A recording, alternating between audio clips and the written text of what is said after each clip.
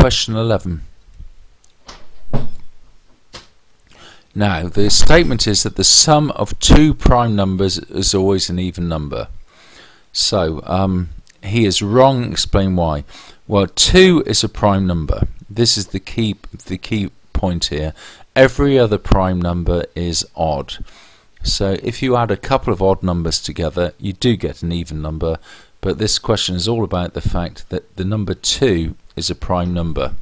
Uh, and 2 added to any of the other prime numbers, which are all odd, gives you an odd number. So basically this question is asking, do you appreciate the fact that 2 is the exception to the rule that 2 is a prime number?